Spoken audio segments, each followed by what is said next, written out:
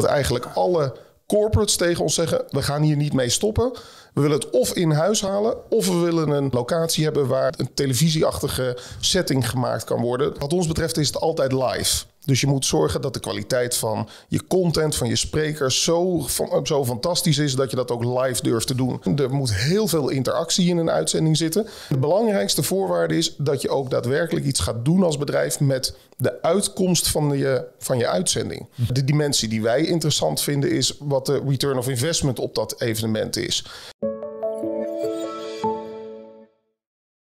Leuk dat je kijkt naar weer een nieuwe video van 7D-TV. En als je luistert naar de podcast, ook van harte welkom.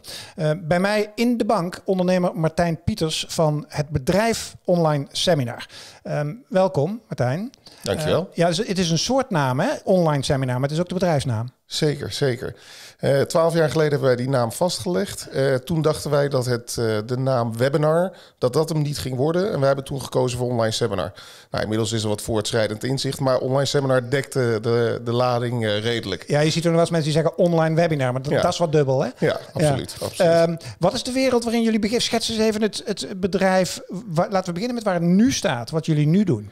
wij zijn een, van origine een Nederlandse onderneming. We zijn op dit moment met zo'n 50 medewerkers, verdeeld over uh, met name ons uh, Amsterdamse hoofdkantoor, uh, maar ook in Brussel en in Madrid en in Amsterdam.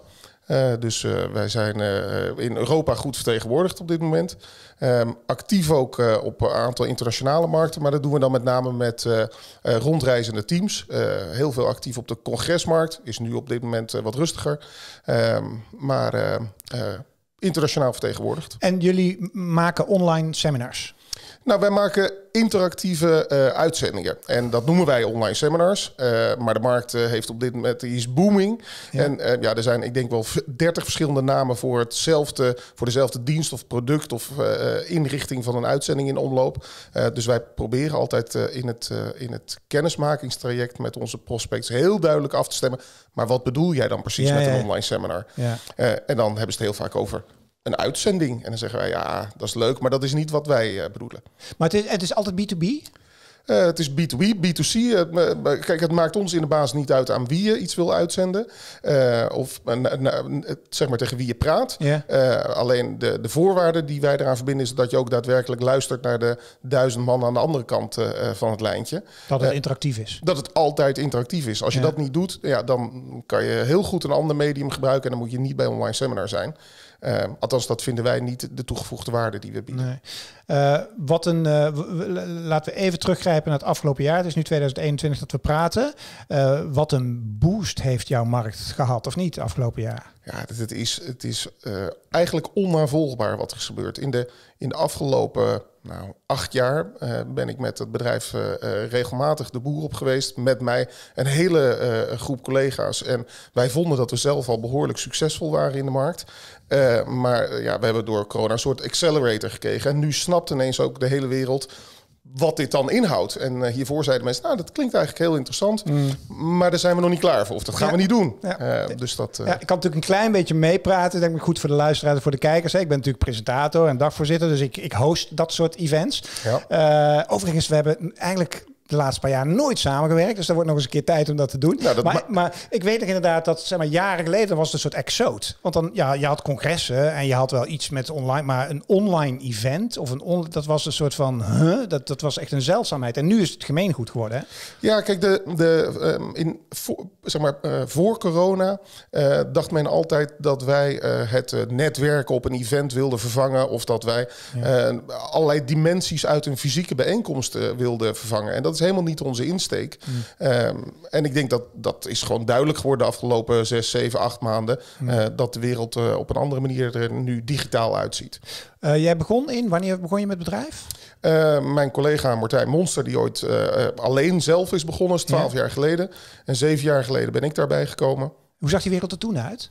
Um, nou, die was er eigenlijk helemaal niet. Uh, je had uh, wat uh, bedrijven die ja, B2B video maakten. Mm -hmm. en dat werd nog net niet meer met een VHS-band door het land gereden, zeg maar. maar hij heeft echt aan het begin gestaan met een, een, een display met een webcam erboven. En dan logden er 500 mensen in. Waar die in godsnaam vandaan kwamen, dat wist eigenlijk niemand.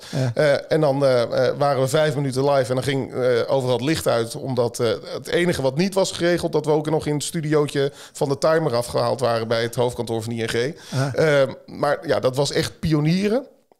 En inmiddels ja, is, de, is die markt is, is zo anders en is dit ja, uh, onderdeel van de, de communicatiemix geworden. Ja. Um, en iedereen vindt dat het normaalste zaak van de wereld. Hoe zie jij dat naar de toekomst toe bewegen? zeg maar, als je dan als je, hè, je zit toch een soort van in de eventindustrie, ook in de communicatiehoek zit je. Hoe zie jij zeg maar, de business evolueren naar de toekomst toe?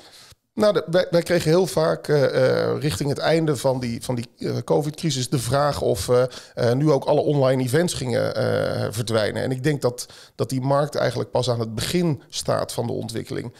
wat je nu ziet is dat bedrijven veel meer nadenken over de kwaliteit van wat ze online aan het aanbieden zijn. Mhm. En de dimensie die wij interessant vinden is wat de return of investment op dat evenement is.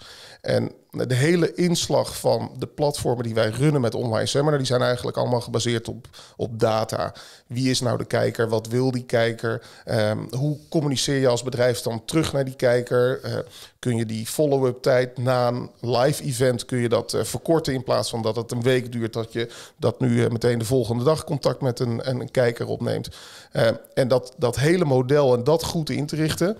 Uh, dat is waar wij denken dat de markt naartoe beweegt. En die markt is eigenlijk pas ja, de afgelopen twee jaar uh, rijp geworden, zeg maar. Nou, sterker nog, ik denk dat we daar nog wel onze borst nat kunnen maken. Wat daar allemaal staat te gebeuren, wil ik zo meteen met over hebben. Want ik ga toevallig binnenkort een event voorzitten die gaat over cookies.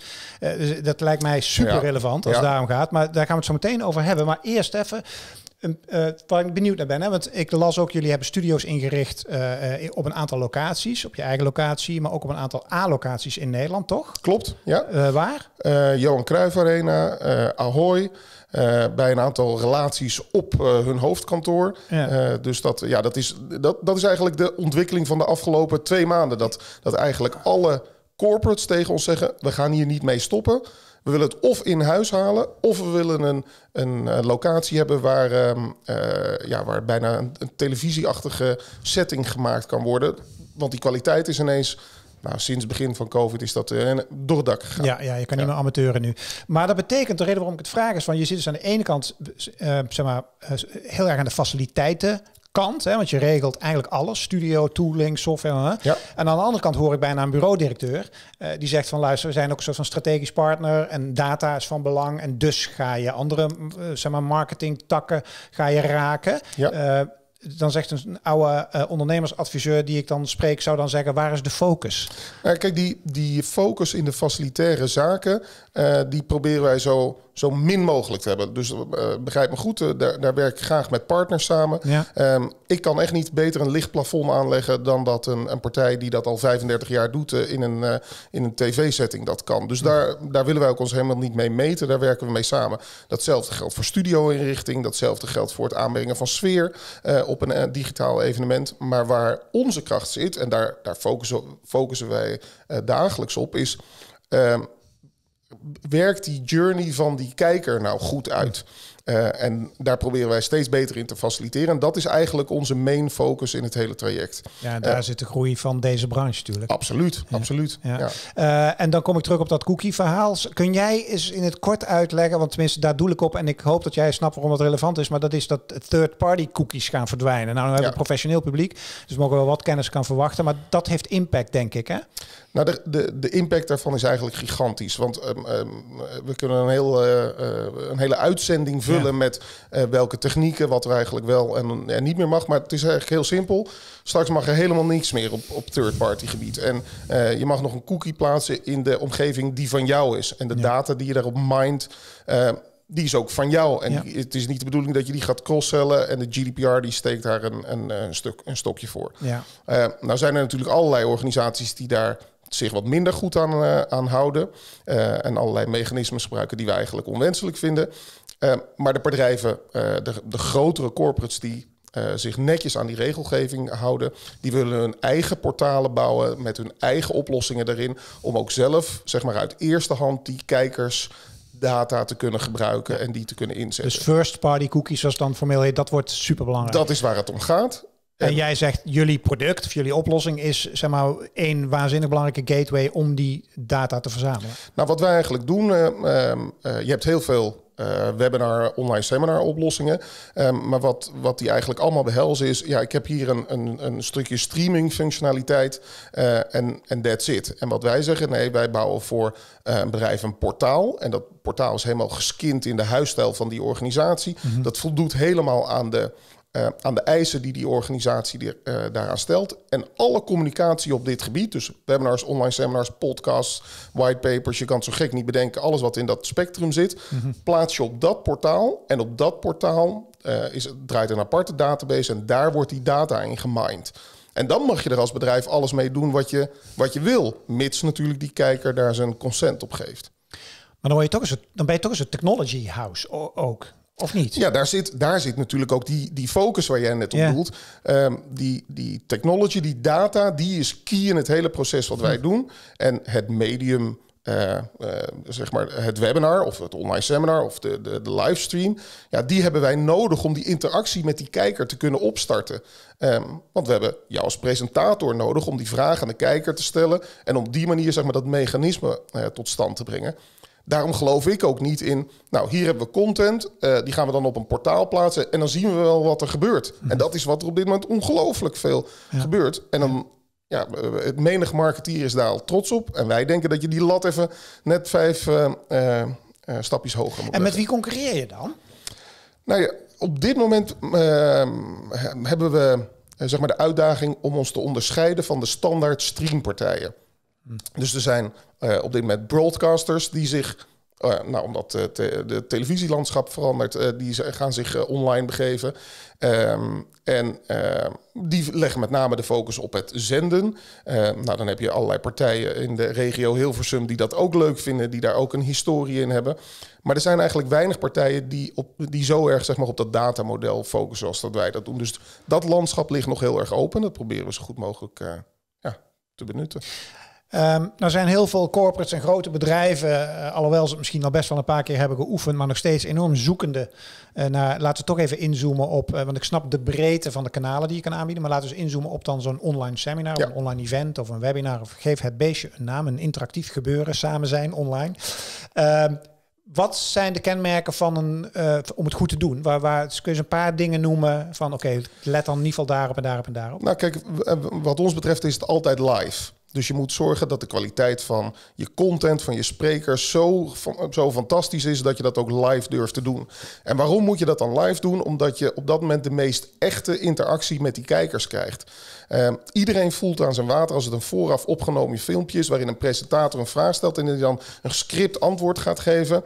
Om vervolgens te zeggen dat het Nederlands publiek vindt X. Dat, het voelt onecht, laten we dat vooral niet doen. Hm. Um, dus die, de, de, de voorwaarde moet live zijn. Er moet heel veel interactie in een uitzending zitten.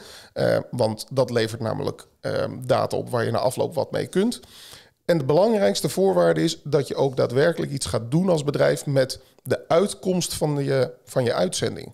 En op dit moment worden er dagelijks, ik denk wel 50 of 100 evenementen georganiseerd door bedrijven. En morgen zeggen ze, nou, dat evenement was een succes en we gaan nu weer business as usual iets anders doen. Alleen die volgende dag, daar begint eigenlijk het spel pas. Eh, want je hebt de werving gedaan, je hebt uh, duizend man in je uitzending gekregen en je hebt honderd man die hebben gezegd, nou, uh, Ronnie, ik wil dat... Uh, die dienst of dat product wel van jou kopen. Of ik wil um, mezelf beter maken. Ik wil leren. Ik wil... En daar gebeurt helemaal niks. Dat, verdwijnt, dat Excel-sheet verdwijnt bij iemand nog steeds, onderop de stapel. Ja. En uh, zo van, oh, we hebben het webinar, het is gelukt, het was een mooi event. Ja, en dan posten we een mooie foto op LinkedIn van de regieset en van het decor. En dan zeggen mensen, nou, dit, uh, dit was een succes. En jij dan begint het pas. Ja, dan begint het, dan begint het spel pas. Ja. Want op dat moment moet je eigenlijk met je, met je cliënt of met je prospect of met je leerlingen of wie je publiek dan ook is, moet je in gesprek en zeggen: Ja, oké, okay, jij hebt uh, wel de moeite genomen om je in te schrijven. Nou, je hebt je gegevens achtergelaten en je hebt vervolgens niet live gekeken. Hm. Waarom dan niet? Hm. Of ja, je bent na een half uur afgehaakt. Of je hebt in die uitzending allerlei uh, informatie van jezelf prijsgegeven. Maar hoe kunnen we je als bedrijf nou daadwerkelijk helpen? Mm -hmm. En als we dat doen, denk ik, als, als, uh, als uh, corporate wereld, ja, dan ik denk dat je dan ook veel betere rendement op je evenement haalt. samenvatting zeg je belangrijk, laat doe het live. Ja. Is het echt, eh, zorg voor zoveel mogelijk interactie om data met name te verstaan. En om, Ja. om, hè, om het voor de kijker ook interessant te maken. Zullen we maar zeggen. Hè? Tenminste vind ik wel altijd, vinden ze leuk. Om de Zoom-moeheid te overleven. Precies, om anders te zijn. En als derde ga met die data ook daadwerkelijk vanuit strategie iets doen. Eh, en gooi het niet in een bak in de, in de la. Nou, en automatiseren het. Want we hebben allemaal dat voornemen om de volgende dag er iets mee te gaan doen. Alleen dan staat de volgende uitdaging alweer voor de deur en dan gaan we daarop focussen. Dus zorg dat dat geborgd is in je bedrijf. Ehm, ja, misschien wel, eh, nog belangrijk om te vermelden. Kijk, er wordt op dit moment heel veel data geproduceerd. Die is ook nog allemaal on-demand beschikbaar. En dan zou je, zou de, zouden deze regels eigenlijk allemaal niet gelden voor on-demand. Nou, on- live on-demand doen gaat niet. Eh, maar het hele proces wat in die on-demand uitzending eh, ook plaatsvindt, dus het luisteren van de on- naar de on-demand kijker, ja, ook dat moet je goed inrichten. Wat vind jij van eh, hybride events?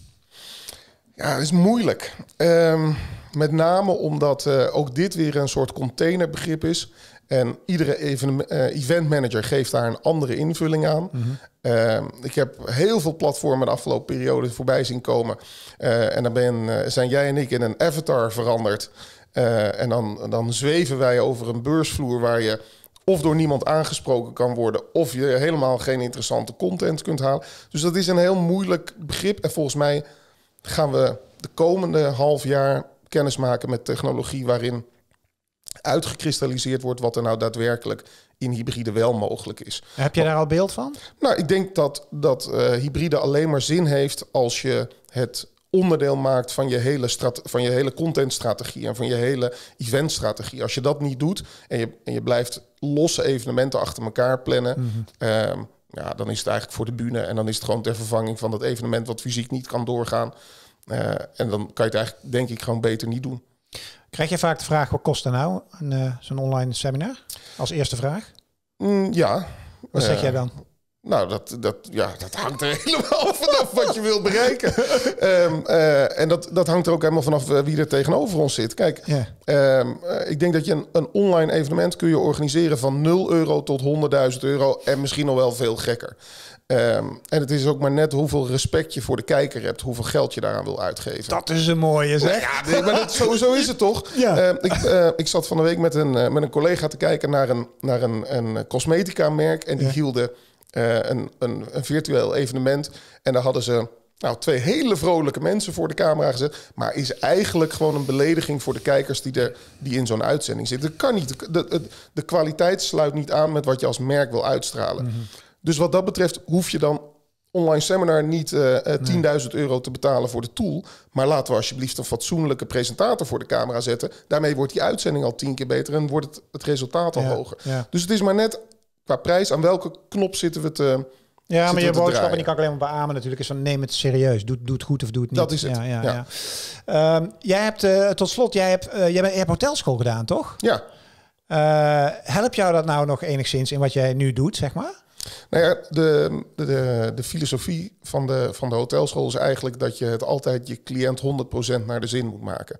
En daarin moet je alle zintuigen van die cliënt prikkelen. En dan gaat het vervolgens nooit over de centjes, maar dan gaat het altijd over de be- totale beleving die je doormaakt. En ehm, wat wij als bedrijf proberen te doen, is eigenlijk datzelfde te doen. Ehm, dus een cliënt moet zich bij ons op zijn gemak voelen. Eh, we willen een, een, een goede uitstraling hebben en we willen eigenlijk van A tot Z ontzorgen. Ehm, je hoeft je geen, eh, geen zorgen te maken over het uitsturen van honderdduizenden mailings. Dat regelen wij wel voor je. Eh, zelfs tot de follow-up dat jouw cliënten worden teruggebeld. En als, als het mij lukt in dit leven om dat in dit bedrijf te stoppen, dan, eh, eh, ja, dan word ik Ben daar gelukkig Dan ben je van. gelukkig mens. Ja. En nog plannen de komende jaren met het bedrijf Online Seminar? Heb je daar, ben je daar bewust strategisch mee bezig? Ja, daar zijn we heel bewust mee bezig. Ehm, we, we hebben een hele grote groei meegemaakt de afgelopen twee jaar. Eh, we hebben ons op markten begeven die, die best wel spannend waren. Internationale healthcare-markt. eh, we hebben gigantische groei in doorgemaakt. Willen we nog veel verder in groeien?